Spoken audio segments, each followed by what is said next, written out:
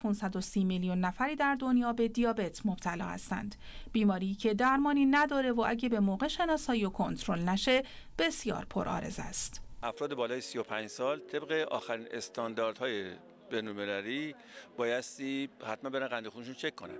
چرا چون بیماری دیابت اصلا علامت نداره برخی افراد از خطرات این بیماری آگاه نیستن و خیلی به اون هم توجهی ندارند دو سال پیش که 118 بود قند خون طبیعی بدن در ناشتا زیر صده و بین 100 تا 125 مرحله پیش دیابت و پس از اون دیابت. فکر نکنید که کسی که پیش دیابت داره الان مونده تا دیابتی بشه و بعد مونده که دچار عوارض بشه. نه مطالعات علمی نشون داده.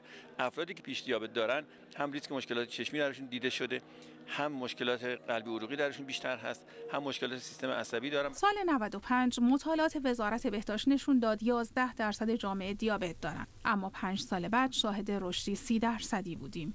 یعنی بیش از 14 درصد مردم. قند قندشون 243 کنترل می‌کنید الان؟ بله کنترل می‌کنه ولی بعضی مواقع کنترل دستم در میره دیگه. پژوهش های وزارت بهداشت نشون میده اگر 5 تا 7 درصد وزن افراد کنترل بشه و هر روز کمی ورزش کنن تا 70 درصد میشه از بروز موارد جدید بیماری جلوگیری کرد. کنترل دیابت به معنای فقط کنترل قند خون نیست. من از این فرصت می‌خوام استفاده کنم. کنترل دیابت به معنای کنترل قند خون کنترل چربی خون کنترل فشار خون. که نهایت اهمیت رو داره ترک سیگار شیوه زندگی سالم، رژیم غذایی سالم و ورزش.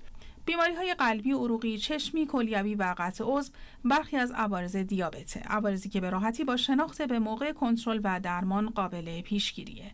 فقط کافیه که اونو زود بشناسیم. علامت ما نداریم، منتظر علامت نباشیم، همه مراجعه کنیم که این حداقل کارو ازتون می‌خوام این ویدیو رو حتما لایک کنید و اگر سوالی دارید در قسمت نظرات برای ما کامنت کنید حتما به اونا جواب خواهیم داد. و اگر سوالی ندارید برای حمایت از ما یه قلب خوشگل برامون کامنت کنید. کانال خودتون هم اگر سابسکرایب نکردید حتما سابسکرایب کنید. کلید زنگوله رو فشار بدید. روی گزینه all یا همه کلیک کنید تا هر زمان ویدیوی جدیدی به اشتراک گذاشتیم به شما عزیزان نمایش شده بشه.